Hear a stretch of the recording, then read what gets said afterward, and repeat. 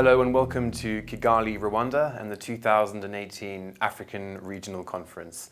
I'm joined now by Gibril Faal, who is Director of GK Partners and Professor in Practice at the London School of Economics. Professor, thank you for joining me. Thank you very much, James. Now, you've just delivered a really interesting presentation on the topic of de-risking mm -hmm. on the last day of, of the African Regional Conference, mm -hmm. um, in which you argued that the discussion and concept of de-risking is really a red herring. Mm -hmm. So what has the financial community got wrong about the de-risking topic? Well, let's look at the evidence. With de-risking, we're talking of um, countering terrorist finance and money laundering. So let's go by the lived experience.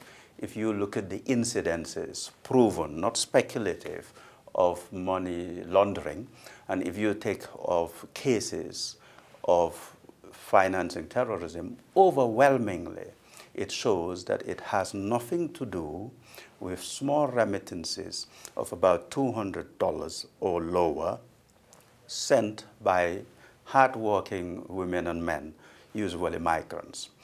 It has nothing whatsoever to do with that. Yet the heavy burden of de-risking is affecting these small financial transactions. So this is why, in essence, it's a red herring.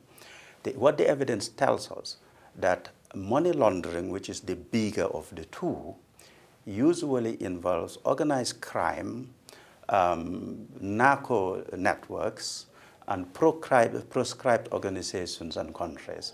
And the corresponding banks, huge multinational corresponding banks that are focusing on this, this de-risking, all of them have either been convicted in a court of law in the United States or in Europe, or have accepted culpability of cleaning money for known drug dealers. So the evidence of where AML and CFT is fo should be focused in on those big ones, not the small ones. So this is why having a discussion about small transfers being a major risk, it's a waste of everybody's time. So you're sort of laying the blame at the foot of the regulators and the banks who are targeting essentially the wrong uh, objective here in terms of small transactions and remittance flows and so on. That, that, that's the problem. Yes, and I blame both of them. Because if you take the big banks, it is not true that when the regulators, uh, regulators say jump, the big banks jump. They try to speak with the regulator and influence what the regulator says.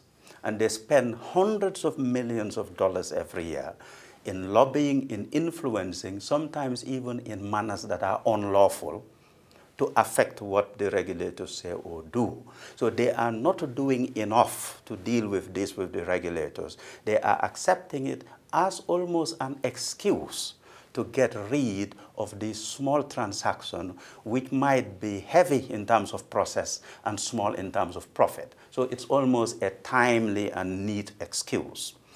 But the regulators, on the other hand, should not give an excuse to anyone to behave in a perverse manner. And there are several regulators who are enlightened, who are on public record to indicate that it does not make sense to focus on the small ones. One should focus on intelligence-driven detection work to minimize risk from the big narco traffickers and other nefarious criminals across the world. Now, SWIFT have just released some new research showing that um, there's been a, a, massive decline in correspondent banking relationships with almost every region across Africa over the mm-hmm. last few years. So it's, it's a, a big problem. Mm -hmm. And as you argued on stage, and as you just mentioned, it's the smaller, um, lower income groups that get hit basically by this problem. So how do we go about changing the, I guess, the behavior of the banks and regulators? And uh, is your message getting some traction out there? I tend to use the phrase when I encourage people to move from the coalition of the willing to what I call the hyperactivity of the devoted.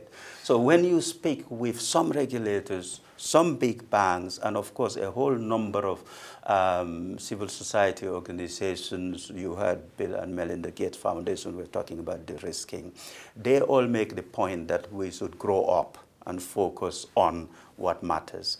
What is missing in my view, there isn't a critical mass of connection of all of this coming together, that is the enlightened regulator, some of the big banks who accept that there's a public good in banking with small African banks and with money transfer businesses.